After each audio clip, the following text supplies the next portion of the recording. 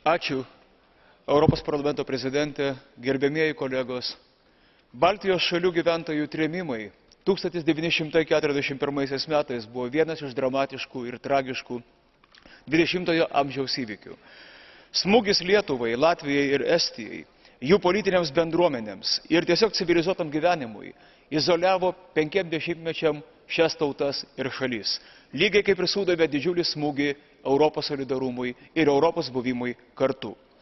Šita izolacija baigėsi tik 91 metais, kada iš tikrųjų buvo galima kalbėti apie lūžį Baltijos tautų istorijoje.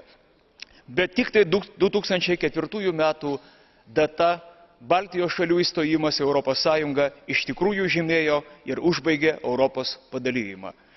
Nekaltų civilių gyventojų, daugiausia labiausiai įsilavinusių, pažangiausių, žmonių samoningas trėmimas - tai Stalino eros socialinės inžinerijos ir kovos prieš individus bei tautas, jų atmintį bei orumą neatsiejama dalis. Ir vis dėlto galima baigti optimistišką gaidą. Tas faktas, kad šiandien, pone prezidentė ir mėly kolegos, mes galime paminėti septynis, septynis dešimtmečius fakto, kada įvyko nekaltų žmonių trėmimas Baltijos šalise ir tai, kad mes šitą pripažįstame, sugražina Europą jos orumą, solidarumą ir konsoliduotą mūsų politinę atmintį. Ačiū.